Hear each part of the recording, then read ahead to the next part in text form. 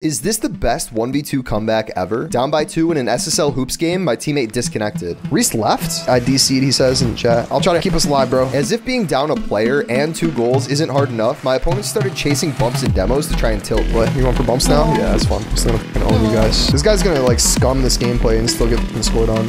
How does that sit with you? How does that sit with you, bro? You're gonna go for bumps. You're still getting 1v2'd out here. Now, don't get me wrong, I have no problem with bumps and demos. I have a very physical playstyle myself, as you'll see from this air dribble bump. But these guys weren't playing like this until my teammate DC. I'm literally 2v1ing these guys. Bro, you're really gonna go for like bumps and demo? Like, so cringe. Yeah, very cringe, dude. My teammate reconnected just before OT. Uh, all right, overtime. We got my boy back. Reese reconnected, so we're not 1v2ing anymore. You f***ed on, absolutely f***ed on. 1v2, bro. GG. I don't know what to tell you. I'm f***ing different, guys.